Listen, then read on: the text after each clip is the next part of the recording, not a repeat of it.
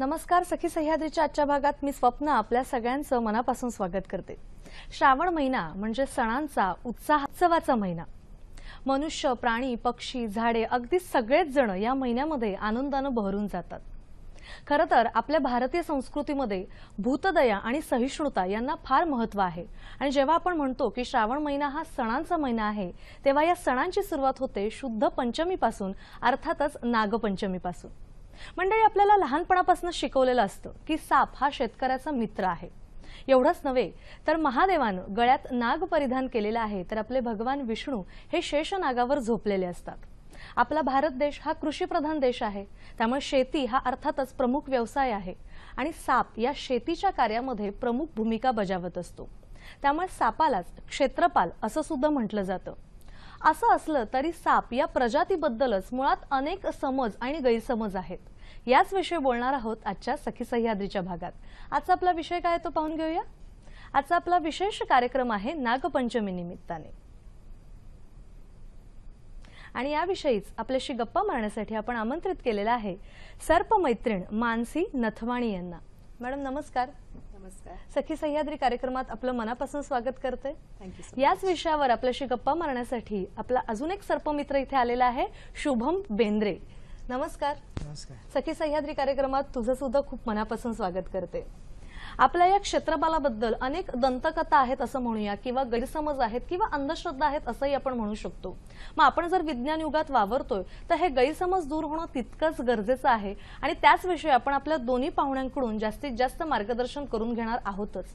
तुमच्याही मनात काही शंका असतील काही प्रश्न असतील तर आमच्यापर्यंत जरूर पोहोचवा संपर्कासाठी आमचे दूरध्वनी क्रमांक आहेत दोन चार नऊ शून्य आठ शून्य पाच शून्य. दोन चार नऊ आठ आठ शून्य पाच शून्य. शून्य दोन दोन अर्थातच एसटीडी कोड मुंबई बाहेरच्या प्रेक्षकांसाठी. नेहमीप्रमाणे आपण काही गोष्टींची काळजी घेणार आहोत. प्रश्न जेव्हा विचाराल तेव्हा आपल्या दूरदर्शन संचाचा आवाज थोडासा कमी ठेवा. म्हणजे तुमचा आवाज तुमचा प्रश्न आमच्यापर्यंत व्यवस्थित येऊन पोहोचेल. आणि विषय खूप महत्त्वाचा आहे. त्यामुळे विषयाच्या अनुषंगाने नेमके प्रश्न जर तुम्ही विचारले तर आपली ही चर्चा उत्तरोत्तर खुलत जाईल आणि आपल्याला आपल्या दोन्ही पाहुण्यांकडून जास्तीत जास्त मार्गदर्शन करून घेता येईल. लगेचच करूया चर्चेला सुरुवात. दोघांचं पुन्हा एकदा मी कार्यक्रमात स्वागत करते. आणि अगदी सुरुवातीला म्हणजे सर्पमित्र किंवा सर्पमैत्रीण म्हणून तुमचा जो अनुभव आहे तो तर आम्हाला ऐकायचा आहेच. पण आज नागपंचमी आहे. तर नागपंचमीबद्दल सुद्धा अनेक कथा आहेत असं आपण म्हणू शकतो. किंवा अगदी महत्वाचं म्हणजे आपल्या भारतीय संस्कृतीची शिकवण भूतदयेची म्हणून हा नागपंचमीचा सण.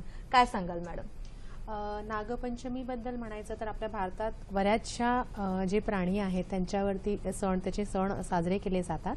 आणि तसंच नागा नागाचा जो सण आहे ज्याला नागपंचमी आपण म्हणतो तो साजरा केला जातो. पूर्वात प- पूर्वापार ही परंपरा चालू आहे आणि त्यामध्ये विशेषतः नागाची पूजा केली जाते.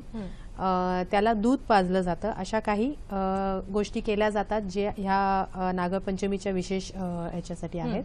आणि पूर्वी पूर्वीपासून चालत आलेल्या काही लोकांच्या मनातले समज आहेत गैरसमज आहेत. तर काही गोष्टी योग्यही आहेत त्यामध्ये आणि काही गोष्टी खूप अयोग्य आहेत. पण म्हणतात ना आम्ही आमच्या परीने खूप प्रयत्न करत असतो त्या गोष्टी म्हणतात ना लोकांपर्यंत त्याचं अवेअरनेस म्हणा किंवा त्याची जनजागृती करण्याचं. तर त्या प्रकारे अगदी अगदी. मला आपण असं म्हणू शकतो की पूर्वापार चालत आलेल्या या चालीरीती आहेत रूढी आहेत परंपरा आहेत काही अंशी एक पूजा म्हणून त्या छान असतातच पण कुठेतरी त्या निसर्गाला सुद्धा हानी पोहोचवत असतात. तर त्या अनुषंगानं आपण बोलणार आहोतच. पण पुन्हा एकदा शुभम मी तुझ्याकडे येते की सर्पमित्र म्हणून एक सात ते आठ वर्षाचा तुझा छानसा अनुभव आहे. खरं तर सर्पमित्र असं म्हटल्यावर आम्हालाच दडपण येतं. तर हा अनुभव कसा आहे? अनुभव म्हणलं तर अनुभव हा खूप वेगळा अनुभव आहे. ह्या गोष्टीसाठी करेज खूप लागतं. खरंय. आणि म्हणजे माझ्या ज्या कालावधीत ज्या आठ वर्ष मी सपामित्राकडे काम करतोय मी जिथे कॉल्सला रेस्क्यू करायला जातो तिथं पहिला प्रश्न असा होता की नेमका म्हणजे तूच सर्पमित्र आहेस का? की तूच रेस्क्यू करायला हम्म, असे खूप प्रश्न येतात. सो तसे असे खूप प्रश्न आहेत. सो रेस्क्यू करतानाही खूप करेज लागतं. खूप आपल्याला कॉन्सन्ट्रेशन ठेवायला लागतं. की आपल्या आपल्याला पण काही इजा वगैरे काय होऊ बरोबर, नये त्यासाठी. आणि जसं तसं रेस्क्यू केल्यानंतरही तसेही खूप प्रोसिजर असतात की जसं आपण लोकल पोलीस स्टेशन्सला जसं कॉल आपला कुठून मीन्स कुणाकडून कॉल आला आहे किंवा कुठे रेस्क्यू केला आहे की ना कुठच्या जातीचा सर्प आहे आपण कुठे रिलीज करणार आहोत हे सर्व इन्फॉर्मेशन प्रोव्हाइड करावं लागतं तसं सर्व लोकल पोलीस स्टेशन ज्या हद्दत आपण जे कॉल रेस्क्यूच्या ज्या एरियाच्या हद्दाला जी पोलीस स्टेशन आहे त्या हद्दाला आपल्याला ते रजि-. हो सर्व रजिस्टर करून आपल्याला रिलीज करावं लागतं ग्रीन झोन बघून. जर बिनविषारी सर्प असेल तर आपण एक साधारण दोन किलोमीटरच्या अंतरात जे ग्रीन झोन असतं की ज्याला त्याला प्रॉपर खायला वगैरे कुठे असं मिळत असेल तर तसं आपण एक जिथे रहदारी नसेल माणसांची तिकडे आपण त्याला रिलीज करू शकतो. आणि विषारी सर्प असेल तसं आपण परेलला हाफकिन इन्स्टिट्यूट करून आहे. तिथे आपण सबमिट करतो जी विषारी सर्प आहे जसे नाग घोणस वगैरे ते सर्व आपण तिथे बरं बरं. म्हणजे मुळात सर्प आहे असं आल्यानंतर म्हणजे कॉल आल्यानंतर त्यांचं पूर्ण व्यवस्थित पुनर्वसनच आपण म्हणू शकतो निसर्गाच्या सानिध्यातलं. तर ते होईपर्यंत तुमची एक खूप महत्वाची जबाबदारी असते. आणि त्या वेगवेगळ्या ज्या काही कार्यप्रणाली आहेत त्या आपण आप- जाणून घेणारच आहोत. पण मॅडम तुमच्याकडे येते की या क्षेत्रामध्ये मित्र म्हणजे सर्प मित्र बरेच आढळतात पण सर्प मैत्रीण तुमच्यासारखी फार एखादीच असू शकते. कारण अर्थात जसं शुभम म्हटलं तसं की प्रचंड एक धैर्य लागतं आणि आत्मविश्वास लागतो. आणि तो मला वाटतं तुमच्याकडे आहे म्हणून अनेक वर्ष तुम्ही कार्य करता आहात सर्प मैत्रीण म्हणून. कसा आहे अनुभव? थँक्यू सो मच तुम्ही असं म्हणल्याबद्दल मला खरंच बरं वाटतंय. आणि हा अनुभव मला सतत येत असतो. गेली वीस वर्ष पंधरा ते वीस वर्ष मी या क्षेत्रामध्ये काम करते. आणि सर्पमित्र सर्रास सगळीकडे तुम्हाला भेटतात बघायला मिळतात येतात. पण जेव्हा एक सर्प मैत्रीण येते कॉलवरती कारण आम्हाला कधीही दिवस रात्र कधीही कॉल येतो. ठाणा एरियामध्ये मी काम करते. आणि दिवस रात्र कधीही कॉल येतो. मी जेव्हा कॉलवरती जाते तेव्हा पहिला प्रश्न मला बऱ्याचशा लोकांकडनं असा असतो की मॅडम आप पकडेंगे किंवा तुम्ही पकडणार आहात साहेब? तर म्हणजे एक त्यांना विश्वास नसतो की एक लेडी येऊन एवढा मोठा विषारी सर्प किंवा एवढा मोठा साप किंवा हा इकडनं लपलेला साप काढणार आणि पकडणार त्यांना विश्वास बसत नाही. पण आता बऱ्याचशा म्हणजे माझ्या एरियामध्ये म्हणा माझ्या पूर्ण जे लोकॅलिटी आहे जिथे जिथे मी कॉल्सवर जाते बऱ्याचशा लोकांना सवय झालेली आहे. आणि आमचंही अग- अगदी शुभम म्हणाला तसंच त्याच प्रकारे काम चालतं. आपण स्क्रीनवर पाहू. शकतोच आहोत. फॉरेस्ट डिपार्टमेंट अ, ला कनेक्टेड आहोत आम्ही. जे काही कॉल्स होतात जे काही साप पकडले जातात त्यांची पूर्ण माहिती कुठे पकडला कुणी कॉल केलेला आणि कुठे सोडणार आहोत ही सगळी माहिती डिटेल्डमध्ये आम्ही देत असतो फॉरेस्ट डिपार्टमेंटला आणि मग तो रिलीज केला जातो सर्प आणि आम्ही होता तो काळजी घेतो का? बिनविषारी सर्प असेल तर तो जवळपासच्या एरियामध्ये सोडला तरी हरकत नाही. कारण बिनविषारी सर्प जो आहे तो आपल्याला मदतच करतो काही काही अंशी. ते बेडूक खाणं किंवा उंदीर खाणं. जे उंदीर जे आहे ते सापापेक्षा साप काहीच रोग पसरवत नाही पण उंदरांपासून खूप रोग पसरवले जातात.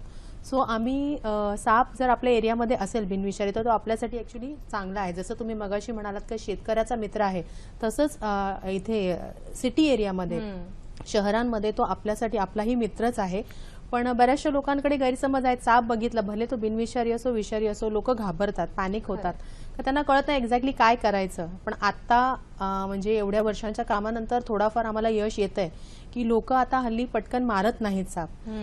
साप दिसला का त्यांना माहितीये का? सर्पमित्राला कॉल करायचा आणि बरेचसे म्हणजे म्हणतात ना, सर्पमित्र आहेत आपल्या एरियामध्ये सो कॉल येतो आणि आम्ही सक्सेसफुली जाऊन तो अटेंड करतो. बऱ्याचदा म्हणजे कॉलवरती असं असतं ना का काहीही सिच्युएशन असू शकते.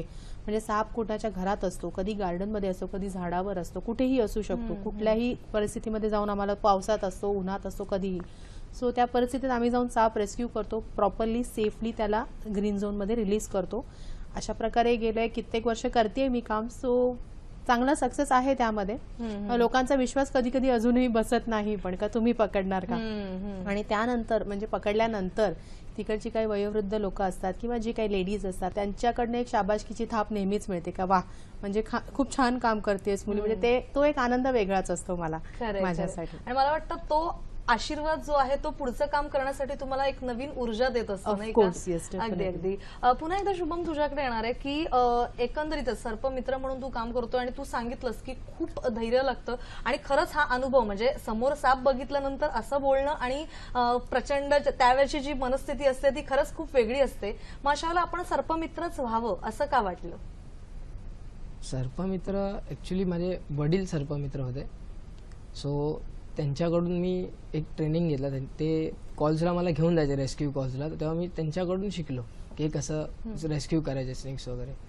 तसं एक म्हणजे मला असं वाटलं मला ऍक्च्युली आधीपासून मी मीन्स खूप ऍडव्हेंचरस बॉय आहे. मला असं सर्व ऍडव्हेंचर्स करायला खूप आवडतात. सो मी एक प्रॉपर डायरेक्ट हात म्हणजे असं नाही गेला प्रॉपर स्टडी वगैरे करून सर्व ट्रेनिंग मला वाटतं या क्षेत्रामध्ये येण्यासाठी म्हणजे सर्पमित्र किंवा सर्पमैत्रीण म्हणून जेव्हा आपण काम करतो प्रॉपर प्रशिक्षण असणं फार गरजेचं आहेच नाही का?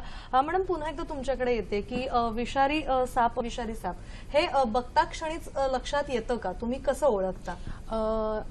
तसं बघायला गेलं तर ह्याचा थिअरी स्टडी खूप मोठा आहे. साप नावाचं एक पुस्तक आहे मिलिंद केनाचं तर त्यांचं जे पुस्तक आहे ते आम्ही प्रॉपर स्टडी केलेलं आहे. आणि प्लस प्रॅक्टिकली जे सिनियर सर्पमित्र आहेत आमच्या एरियामध्ये त्यांच्याबरोबर जाऊन जाऊन त्यांच्याबरोबर शिकून आम्ही जवळजवळ गेली कित्येक वर्ष त्यांच्याबरोबर आम्ही फिरलो फिरलोय. आणि तसंच बरं आपण स्क्रीनवर आता मॅडम पाहू शकता की तुम्ही खूप मोठा साप पकडलेला आहे. तर या सापाच्या जातीबद्दल तुम्ही जर आम्हाला सांगितलं तर ती एक वेगळीच उत्सुकता असू शकेल आमच्यासाठी. हा स्पेक्टॅकल कोबरा म्हटलं जातं याला. आपल्या मराठीमध्ये आपण याला नाग म्हणतो. तर हा जवळजवळ सहा फुटाचा नाग होता जो मी पकडला होता. गेल्या महिन्यातच पकडलेला फोटो आहे तो. आणि म्हणजे मी राहते ज्या एरियामध्ये माझी अगदी जंगलाच्या बाजूलाच माझी बिल्डिंग आहे. तो माझ्या सोसायटीमध्ये तो साप आला. होता आणि तिथेच मी पकडला होता आणि आमच्या जवळच्या ग्रीन झोनमध्ये मी त्याला रिलीजही केला. तर त्या प्रकारे असे रेग्युलर आमचे कॉल्स म्हणजे दिवसाला दोन ते तीन चार कॉल्स असे चालूच असतात सततचे. आणि म्हणजे कसं शिकणं सर्पमित्रां सिनियर सर्पमित्रांकडनं शिकल्यानंतर डिरेक्टली आम्ही सापाला हात लावत नाही. प्रॅक्टि आधी तुम्हाला थिअरी स्टडी भरपूर प्रॉपर करावी लागते. आणि साप नुसतं कधी कसं साप मिळत असतो किंवा एखादा कोपऱ्यात लपलेला असतो जिथे आपल्याला फक्त एक छोटासा भाग दिसत असतो सापाचा. तर त्या स्केल्सवरनं आम्हाला ओळखता आलं पाहिजे का हा कोणता साप आहे. कारण प्रत्येक सापाला हाताळण्याची पद्धत ही वेगळी आहे. तुम्ही ह्या सापाच्या प्रमाणे त्या सापाला जर हँडल केलं तर त्याची हे त्याचा स्वभाव वेगळा असतो प्रत्येक सापाचा प्रत्येक जातीचा. सो जर तुम्ही चुकीचा साप समजून त्या त्या प्रकारे जर हँडल करायला गेलं तर तुम्हाला बाईट होऊ शकतो. सो ती काळजी घेणं फार गरजेचं आहे. त्याच्यासाठी साप ओळखणं ही सर्वात महत्वाची सर्पमित्र सर्पमित्रीण म्हणून जबाबदारी आहे तुमची का तुम्हाला साप ओळखता आला पाहिजे. आणि नंतर तुम्ही पकडण्याच्या ह्याच्यामध्ये प्रोफेशनमध्ये उतरू शकता पण पहिले साप ओळखणं फार गरजेचं आहे. बरं आणि मला वाटतं त्याच्यासाठी तुमच्यासारख्या लोकांचा अनुभवच फार गरजेचा असतो. कारण साप समोर बघितल्यानंतर भीतीची भीतीने जी गाळण उडते त्याच्यासाठी जे धैर्य लागतं त्या त्यामुळे सर्पमित्र किंवा सर्पमैत्रीण घडू शकते. याच विषयी आपण बोलणार आहोत पण आपल्याला फोन आलेला आहे तो आपण घेऊया. खुशी टेंबेकर आपल्याशी बोलतात नागपूरहून. नमस्कार. नमस्कार मॅम हा बोला. मॅम माझे दोन प्रश्न आहेत. पहिला प्रश्न असा की दूध पहिला प्रश्न असा की साप जो आहे जो दूध पितो की नाही.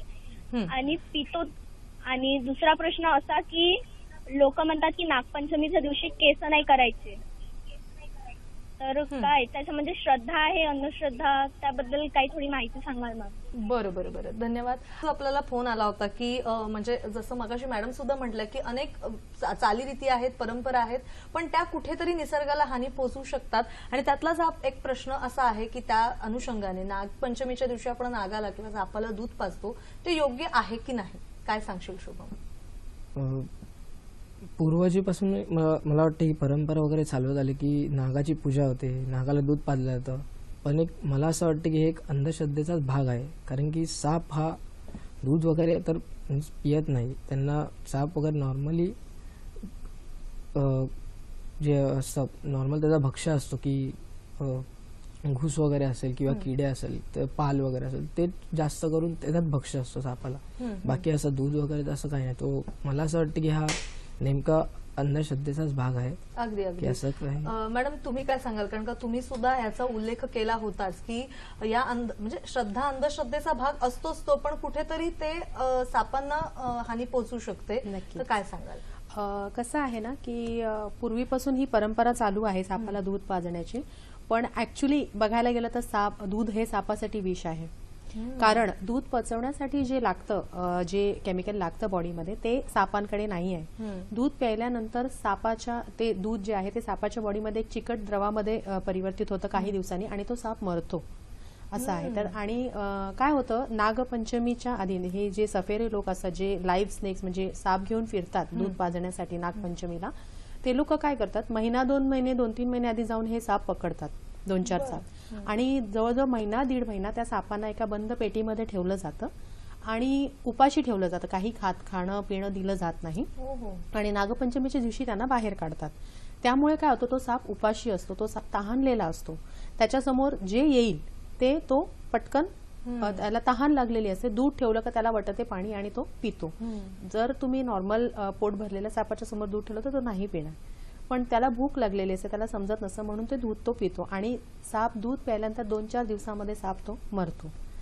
हा. तर त्याच्यामुळे दूध पाजणं ही कम्प्लिटली रॉंग हे आहे. त्याच्यासाठी आमची संस्था जी आहे वाईल्ड लाईफ वेलफेअर असोसिएशन आम्ही ठाण्यामध्ये विविध विविध एरियाजमध्ये पुणा साईडला सगळीकडे आम्ही अवेअरनेस प्रोग्राम्स करत असतो नागपंचमीसाठी. आणि आम्ही लोकांना आवाहन करतो की तुम्ही लाईव्ह स्नेक्सची पूजा करू नका. तुम्ही आयडलची पूजा करा सापाच्या मूर्तीची पूजा करा. शंकर मंदिरात जाऊन पिंडीवरती तुम्ही दूध वाहा किंवा जे काय असेल ते. त्या त्यासाठी आम्ही एक मोठी आयडल तिथे आमच्या एरियामध्ये स्थापन करतो नागपंचमीच्या दिवशी. आमच्या एरियातली बरीचशी लोक येऊन तिथे पूजा करतात. आणि जे काही दूध साठतं तेही आम्ही वेस्ट करून देत नाही. ते आम्ही एका भांड्यामध्ये साठवून तिकडचे जे कुत्रे आहेत मांजरी आहेत स्ट्रेज आहेत त्यांना आम्ही देतो. म्हणजे कुठलीही एकही कणभर आम्ही त्याच्यामध्ये वेस्टेज होऊन देत नाही दुधाचा. आणि प्लस लोकांपर्यंत आम्ही स्ट्रीट प्लेस करतो. त्याच्यासाठी लोकांना समजवण्यासाठी का हे दूध पाजणं चुकीचं आहे सापासाठी वगैरे. अशा प्रकारे आम्ही अवेअरनेस कंटिन्यूस हे करत असतो दुधा म्हणजे दूध पाजण्याच्या अगदी बाबतीत. अगदी अं, जसं दुधाचं उदाहरण आहे तसंच त्यांनी केस मला वाटतं कापू नये असा त्यांचा मे बी प्रश्न होता की ती सुद्धा एक अंधश्रद्धाच आहे का? तर काय मला त्याच्याबद्दल ऍक्च्युली सांगायचं तर केस कापून नाही की कापा. आय डोंट मला वाटतं त्यांना असं म्हणायचं असेल की सापाला केस असतात का? असा काहीतरी प्रश्न असावा. मी पण कन्फ्युज झाली मगाशी त्या प्रश्नामध्ये. पण ही पण एक अंधश्रद्धाच आहे. सापाला केस नसतात. कित्येकदा काय होतं साप दर काही महिन्यांनी ना आपली स्किन श्रेड श्रेड करत असतं. म्हणजे आपली कातडी सोडत असतं. तर बऱ्याचदा काय होतं ती कातडी कुठे कुठे राहिलेली असते थोडी थोडी आणि ती दिसते लटकलेली. केस न विंचरणे असा त्यांचा म्हणजे केस विंचरू नये नागपंचमीच्या दिवशी अशी एक प्रथा आहे. तर त्याबद्दल काय सांगाल? नाही. मला आय एम सो सॉरी पण त्या बाबतीत मी काहीच सांगू शकत मी सापांबद्दल तुम्हाला सांगू शकते. पण केस मला वाटतं हा एक प्रथेचा भाग आहे असं आपण म्हणू शकतो. आणि अर्थात प्रत्येकाच्या मागण्या न मागण्यावर आहे की श्रद्धा आहे की अंधश्रद्धा आहे. त्यामुळे जसं दूध पाजू नये असं आपण म्हणतो तर आताच्या या युगामध्ये वावरताना केस न विंचरणं असं होऊ शकत नाही.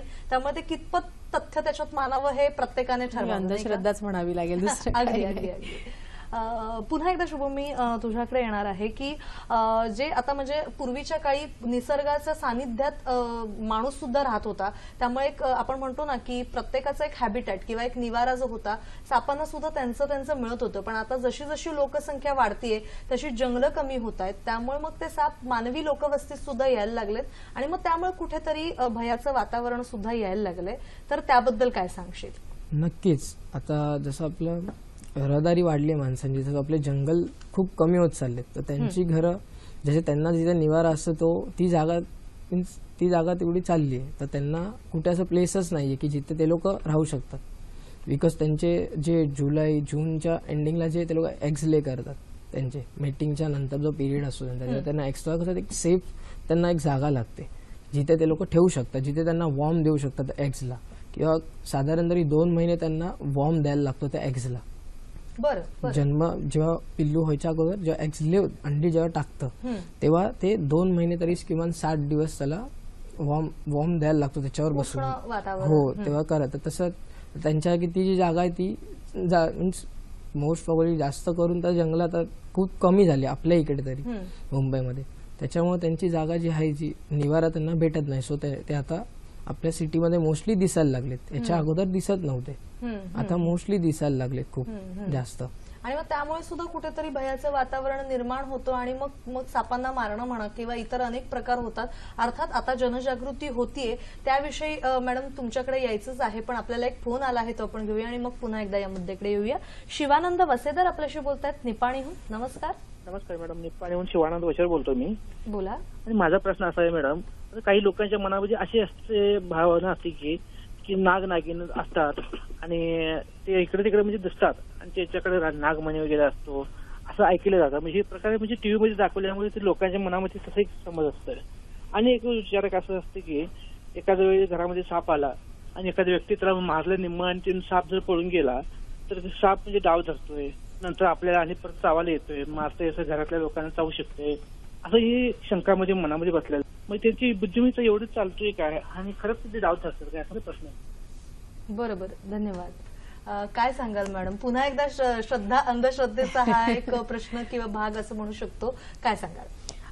ऍक्च्युली कसं आहे ना त्यांनी जे दोन्ही शंका सांगितल्या की साप डूक धरतो आपण जर त्याला मारलं तो नाही मेला किंवा नाग नागिण आहे त्यांच्यावरती नागमणी वगैरे असतो. तर ह्या दोन्ही कम्प्लिटली अंधश्रद्धा आहेत. आपण सिनेमासृष्टीला थँकफुल करूया ह्या अंधश्रद्धांसाठी कारण ह्या अंधश्रद्धा पिक्चर्समध्ये मूवीजमध्ये दाखवल्या जातात आणि ती लोक मानतात. ऍक्च्युली नागमणी हा प्रकार नाहीये. कारण जर नागमणी असता तर आतापर्यंत इतकी वर्ष जे सर्पमित्र काम करतात कोणाला एकाला तरी मिळाला असता नक्कीच. पण नागमणी हा प्रकार नाहीये. ही फक्त एक दंतकथाच आहे.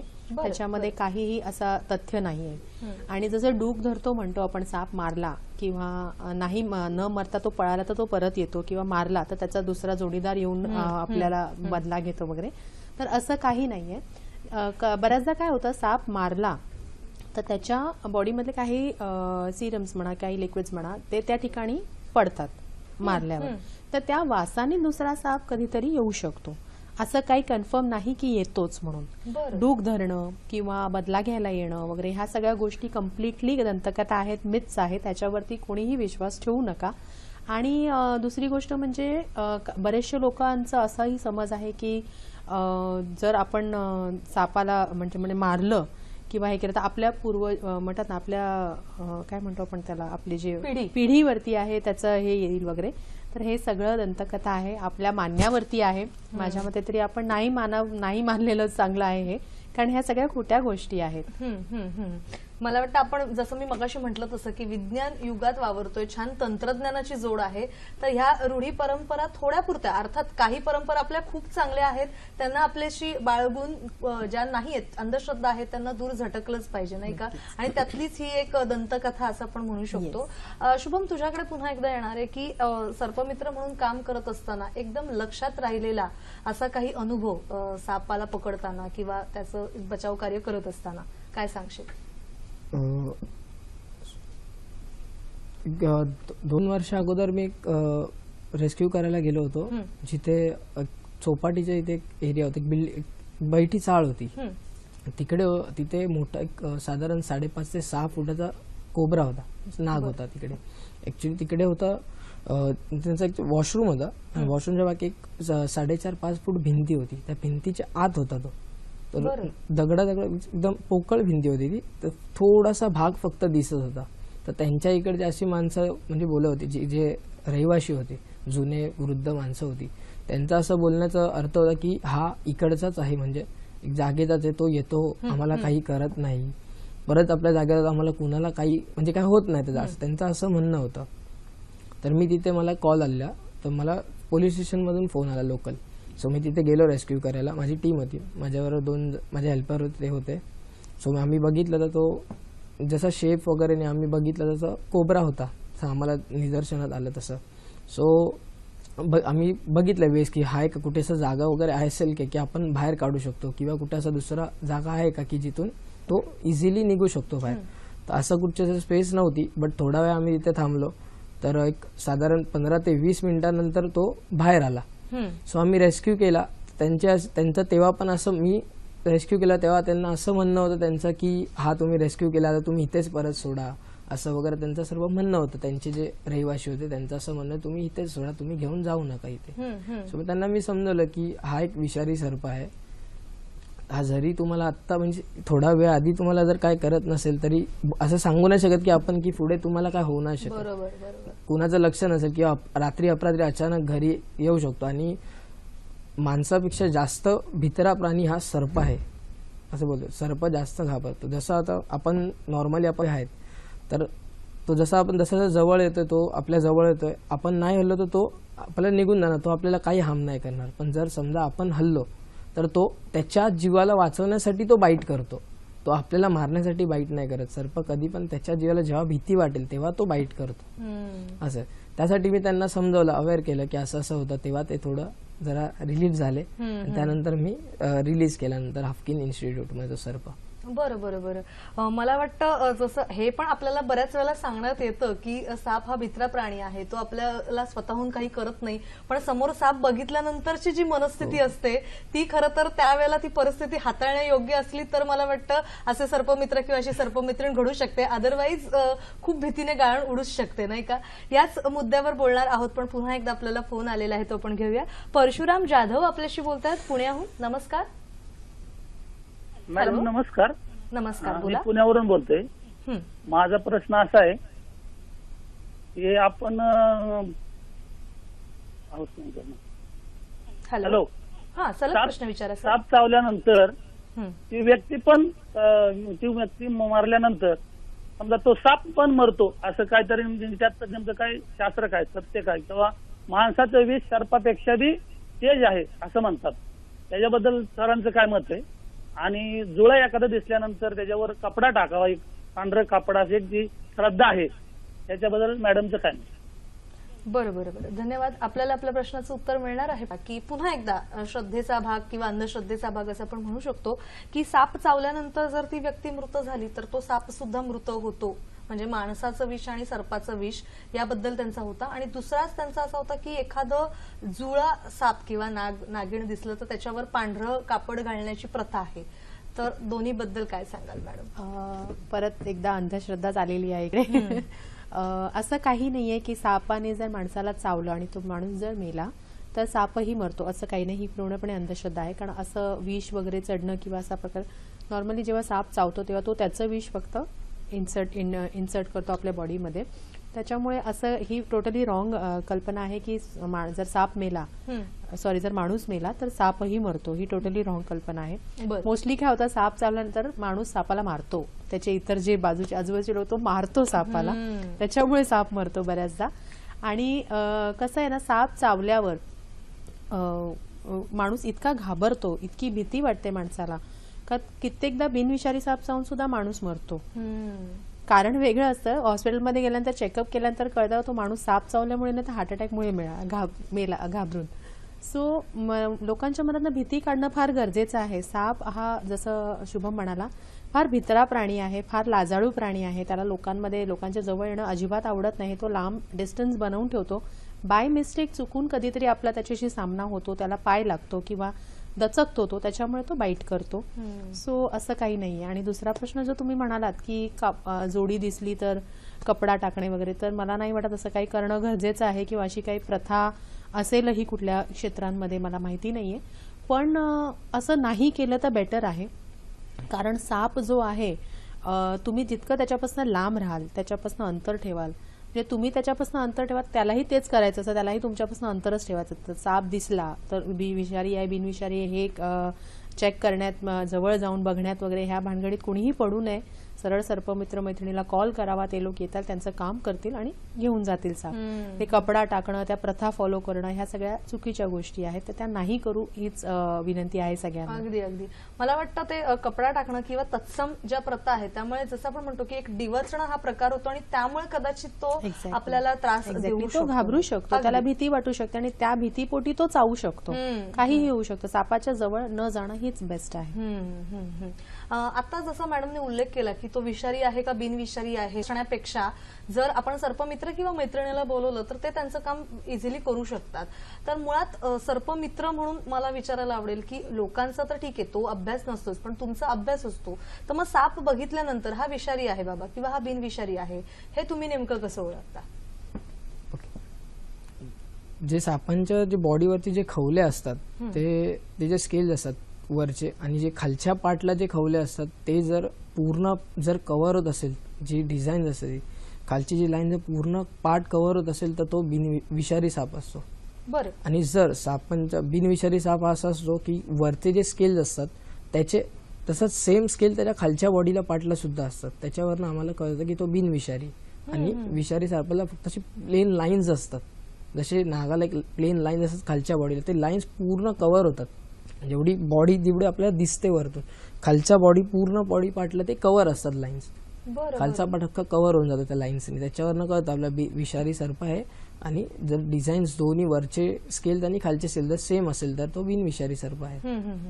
मला वाटतं हा तुमचा व्यवस्थित जाणीवपूर्वक प्रशिक्षणानंतरचा झालेला अभ्यास आहे. त्यामुळे लोकांना हीच एक आपण म्हणू शकतो की हाही एक जनजागृतीचा भाग आहे की तो ते बघण्यापेक्षा त्यांना त्रास देण्यापेक्षा सर्पमित्र काय ते येऊन ठरवतील आणि मग त्याची पुढची जी काही कार्यप्रणाली आहे ती करू शकतील. मॅडम काय शुभम जसं म्हणाला का स्केल्स वरचे खालचे स्केल्स वेगळे असतात वगैरे. तर मुळात त्याच्यासाठी साप तुम्हाला जवळून बघणं आणि हाताळणं गरजेचं आहे. जे टोटली एक नॉर्मल कॉमन पब्लिकनी नाही केलं तर ते बेटर आहे. सर्पमित्राला ट्रेनिंग असते. त्यांनी साप हाताळलेले असतात. तो नुसता एक एक एवढा भाग सापाचा बघून सुद्धा ओळखू शकतो की कुठला साप आहे. बिनविषारी आहे. विषारी फक्त एवढ्या भागावरनं सुद्धा त्यांना कळतं. सो त्यांना गरज नाही लागत स्केल्स बघण्याची किंवा काय आहे काय नाही ते. त्याच्यामुळे ओळखण्यासाठी मुळात सापाला फार जवळून बघणं स्केल्स आहेत की नाही बघणं कुठे आहेत काय आहेत तर ते फार गरजेचं आहे. तर ते मी पब्लिकला एवढंच ए- हे करेन का प्लीज तुम्ही त्या भानगडीत पडू नका.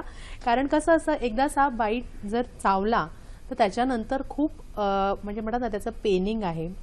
माणूस मरतोच असं नाही. तुम्ही शांत राहिलात स्थिर राहिलात तर काही होत नाही. पण खूप त्रास होतो त्याच्यानंतर. ते अँटी स्नाईक वेनम जे आपण घेतो ते घेतल्यानंतर आपल्या बॉडीवरती खूप साईड इफेक्ट्स होतात त्याचे. माणूस वाचला जरी त्याच्यानंतर कित्येक वर्ष आपल्याला ते साईड इफेक्ट्स फेस करावे लागतात. सो पब्लिकनी सापापासून लांब राहणं सर्पमित्र मैत्रिणीला एनजीओला कॉल करणं that is best for them तर तेच मी सांगेन अगदी अगदी. आणि हा खूप महत्त्वाचा जनजागृतीचा भाग आहे असं आपण म्हणू शकतो. त्याच अनुषंगाने शुभम मला तुला विचारायला आवडेल की आता तुम्ही शहरी भागामध्ये सर्पमित्र म्हणून काम करता आहात किंवा सर्पमैत्रीण म्हणून काम करता आहात. शहरी भागातले लोक सुशिक्षित आहेत असाही आपण म्हणू शकतो.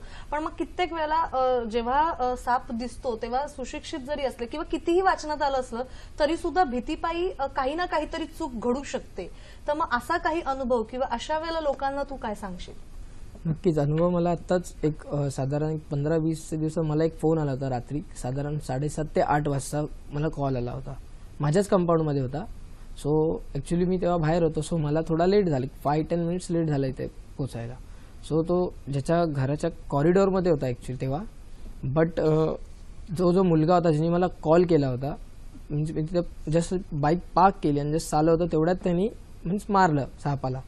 सो मी त्याला मी बघितलं जाऊन तो एक- होता तो बिनविषारी सर्प होता. सो त्याला मी जाऊन त्याला समजवलं की मीन्स मला तू फोन करून बोलवलं होतं सो तुला थोडं वाट बघायची मीन्स थोडं वाट बघितली हवी होती तू की तू असं नाही केलं पाहिजे होतं.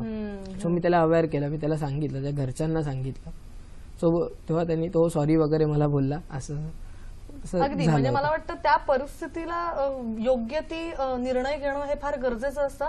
आणि तिथेच कुठेतरी लोक चुकतात असं म्हणू शकतो आपण. मॅडम तुमच्याकडे पुन्हा एकदा येणार आहे. तुम्ही जसं म्हणाला तसं की साप चावल्यानंतर जे पुढचं म्हणजे जरी बिनविषारी असेल तरी सुद्धा तो त्रास होत असतो.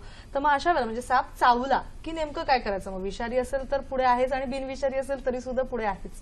काय सांगा सगळ्यात पहिले म्हणजे मी सांगेन कोणताही साप चावला. म्हणजे आपल्या इकडे जे पाच विषारी साप आहेत ज्याच्यामध्ये घोणस आहे नाग आहे फुरसं आहे तुमचं चापड्या म्हणून एक आहे. आणि पाचवा जो आहे तो मण्यार. काळी मण्यार जी म्हणतो आपण ती आहे. तर हे जे पाच विषारी साप आहेत ह्याच्यापैकी कुठलाही साप चावल्यानंतर तास दोन तासात लगेच माणूस मरत नाही. लगेच. फक्त तुम्ही काय करायचंय शांत राहायचंय जास्त हायपर व्हायचं नाही जितकं तुम्ही हायपर व्हाल तितकं तुमचा ब्लड फ्लो फास्ट होतो आणि विष तुमच्या शरीरामध्ये लवकर पसरतं. तुम्ही जितकं शांत राहाल थंड राहाल तेवढं चांगलं. आणि सगळ्यात महत्वाचं साप कुठला आहे बिनविषारी आहे विषारी आहे हे बघण्यात ह्याच्यामध्ये वेळ घालवू नका. तुमच्या जवळपास जे कुठलं गव्हर्नमेंट हॉस्पिटल असेल गव्हर्नमेंट हॉस्पिटल कारण त्याच्यामागे एक आहे अँटी स्नेक वेनम जे आहे ते मॅक्सिमम गव्हर्नमेंट हॉस्पिटलला तुम्हाला अवेलेबल असतं इझिली अवेलेबल असतं. फटाफट लवकर ट्रीटमेंट चालू होते. तुम्हाला अतिदक्षता विभागात जाऊन ट्रीटमेंट ताबडतोब सुरू करावी लागते. तिकडे गेल्यानंतर त्या दंशावरनं डॉक्टर सांगू शकतो. डॉक्टर्स एवढे प्रशिक्षित असतील सापा स्नेक बाईटबद्दल तर ते डेफिनेटली सांगू शकतात का हा विषारी आहे बिनविषारी आहे. तुमचे जे सिमटम्स असतात काहींना तोंडाची चव जाते काहींचे मसल्स लूज पडतात काही सापांच्या विषामुळे. डिफरंट हे आहेत विष वेगळं. त्याप्रकारे तुमच्या रिॲक्शन्स वेगळ्या असतात.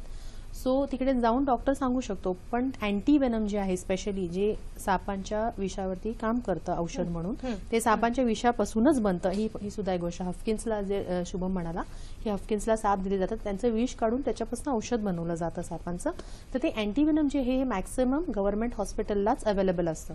बर. तर लोकांनी इथे तिथे प्रायव्हेट हॉस्पिटल्सला वगैरे वेळ न घालवता डिरेक्टली गव्हर्नमेंट हॉस्पिटल्सला जावं. दुसरं आपल्या शहरामध्ये तर नाही पण गावात गावच्या ठिकाणी वगैरे साप उतरवणं सापाचं विष उतरवणं भक्ताकडे जाणं वगैरे असे प्रकार आहेत तर मी सगळ्यांना विनंती करेन की असं काहीही नसतं साप साप जर विषारी असेल तर तुम्हाला कंपल्सरी अँटीवेनम घेणं गरजेचं आहे तरच तुम्ही वाचू शकता. तुम्ही ते साप विष उतरवून वगैरे असे प्रकार होत नाहीत. कारण कसं असतं बऱ्याचशा लोकांना माहीत नसतं हा कोणता साप आहे. बऱ्याचदा काय होतं बिनविषारी साप चावलेला असतो. ते जातात त्या मांत्रिकाकडे किंवा ज्या भक्ताकडे उतरवायला.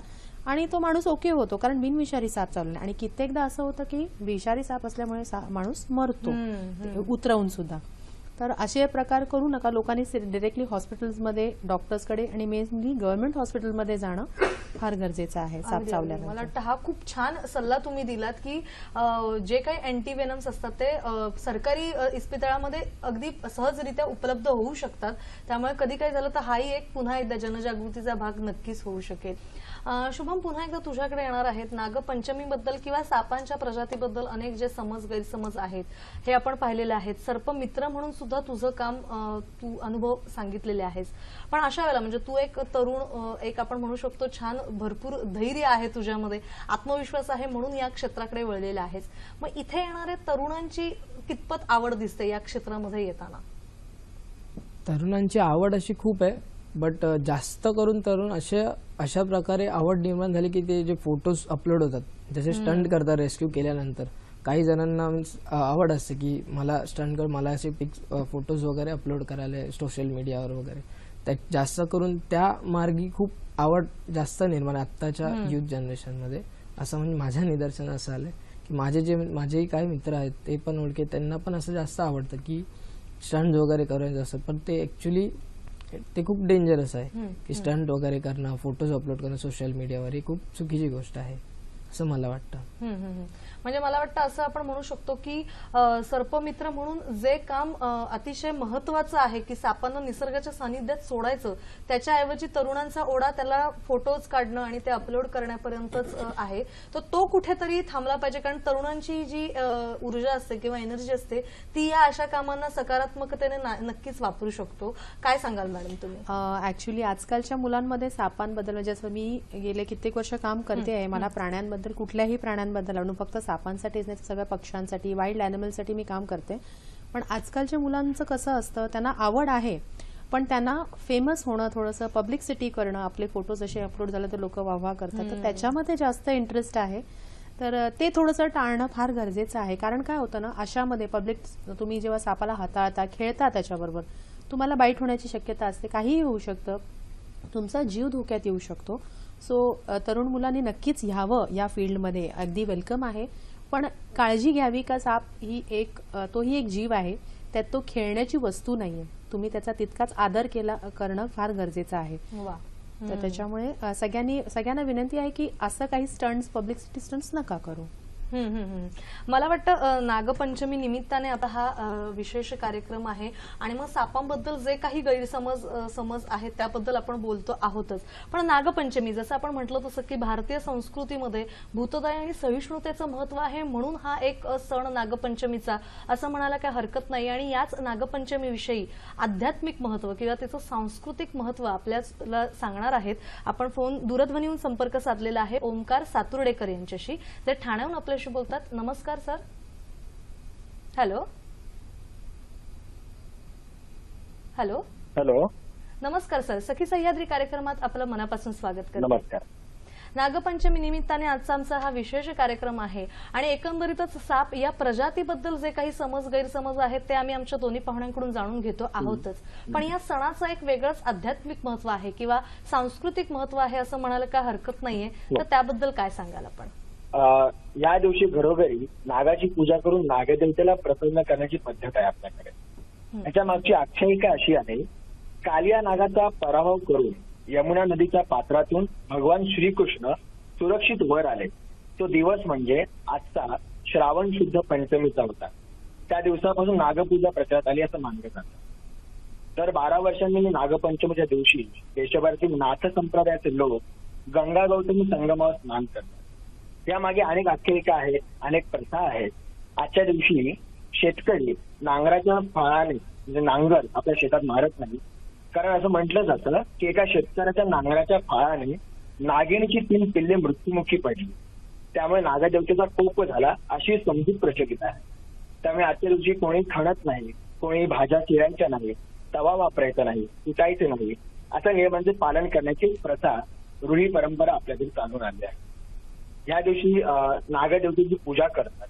एकूण आठ नागांची पूजा एका स्वरूपात केली जाते. ते आठ नाग म्हणजे अनंत वासुकी पद्मनाभ कंबल शंखपाल धृतराष्ट्र तक्षक आणि कालिया असे हे आठ नागांची पूजा म्हणजे नागपंचमीचा सण. बरं बरं. अ, सर खूप खूप धन्यवाद. आपण या कार्यक्रमात सहभागी झालात आणि नागपंचमीचं जे आध्यात्मिक महत्त्व आहे त्याबद्दल सांगितलं धन्यवाद. सरांनी सं- आपल्याशी संपर्क साधून नागपंचमी या सणाबद्दलचं जे एक सांस्कृतिक महत्त्व म्हणा किंवा धार्मिक महत्त्व आहे ते सांगितलेलं आहे. आणि पुन्हा एकदा मी आपल्या विषयाकडे येते जसं तुम्ही म्हणाल तसं की एक सर्पमित्र किंवा सर्पमैत्रीण म्हणून आपण कशी ज- खबरदारी घेतली पाहिजे हा तर एक आहेच. पण पुन्हा एकदा अनेक दंतकथा असतात समज गैरसमज असतात त्यामुळे कुठेतरी भीतीचं वातावरण होतं. त्यातल्या बऱ्यापैकी दंतकथा आपल्या झालेल्या आहेतच. पण मॅडम या व्यतिरिक्त आणखीन काही आहे का तुमच्याकडे? नक्कीच आहे. शहरांमध्ये फार कमी बघितल्या जातात. लोक विश्वास ठेवतात या दंतकथांवरती. गावच्या साईडला जे विलेजेस आहेत तिथे खूप जास्त प्रमाणात लोकांची अंधश्रद्धा हे आहे. आणि तिथे साप भरपूर मारलेही जातात. तरी आता आम्ही बऱ्या प्रकारे कव्हर अप केला आहे. गावां गावखेड्यांमध्ये सुद्धा पोचलेले आहेत आमचे सर्पमित्र आणि साप रेस्क्यू करून वाचवले जातात. माझा एक अनुभव मी तुम्हाला शेअर करू शकते की शहरांमध्ये सुशिक्षित सोसायटीमधनं प्रॉपर मला होता सापाचा आणि त्यांनी मला फोन केला. असं असं आमच्या ह्याच्यामध्ये साप आलाय तो एका ठिकाणी आतमध्ये केबिनमध्ये जाऊन घुसलाय. तर म्हटलं ठीक आहे मी येते थोड्या वेळामध्ये. तर नाही नाही तुम्ही कसं पकडणार त्याला? तर म्हटलं सर आम्ही प्रॉपर ट्रेंड आहोत आम्ही पकडू. तर त्यांचं असं म्हणणं होतं का अच्छा मग तुम्ही ते बीन वगैरे सगळं घेऊन येणार ना त्याला म्हणजे बोलवावं लागेल ना बाहेर? तर नॉर्मली काय असं साप जो आहे तो बाहेर त्याला कान नाही आहेत तो ऐकू शकत नाही. तो व्हायब्रेशन्स जमिनीचे व्हायब्रेशन्स हे करतो आणि नजरेवर त्याचं दिसणं म्हणजे लुक जे डोळ्या डोळ्यांनी बघून तो सगळं हे बघत असतो.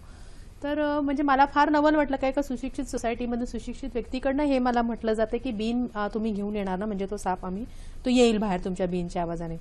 तर लोकांना मी हे सांगू शकते की बीन ऐकणं हे सापाचं हे नाहीये साप ऐकू शकत नाही. सापाची मेमरी जी आहे ती फार शॉर्ट असते. असं पण नाहीये का म्हणजे जसं मगाचा आपला विषय होता की दुःख. दुःख धरणं. मुळात मुळात सापाला पंधरा वीस मिनिटानंतर आधीचं काही लक्षातच राहत नाही. इट इज तुम्ही म्हणू शकता शॉर्ट टर्म मेमरी लॉसचा पेशंट आहे साप.